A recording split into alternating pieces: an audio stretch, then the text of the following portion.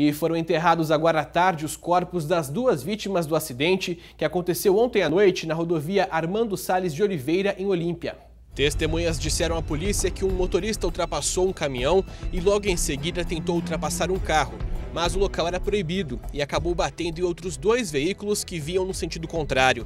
Além das duas mortes, outras seis pessoas ficaram feridas e foram levadas para a UPA de Olímpia.